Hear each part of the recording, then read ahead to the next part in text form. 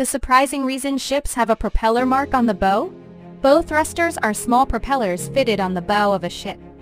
This marking near the bow is usually a symbol of a propeller or a circle with an X inside, indicating the presence of a bow thruster.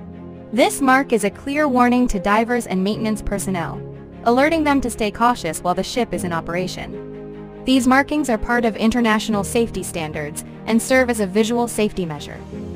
Bow thrusters can push water to one side, allowing the ship's bow to move sideways without needing forward motion. This feature is especially useful when the crew need better control over the ship's movements during situations like docking, navigating through narrow channels, or handling the ship in strong winds and currents. The presence of a bow thruster reduces the dependence on tugboats. This capability is vital for large ships, as their size and weight make it difficult to turn or maneuver using only the main propeller and rudder.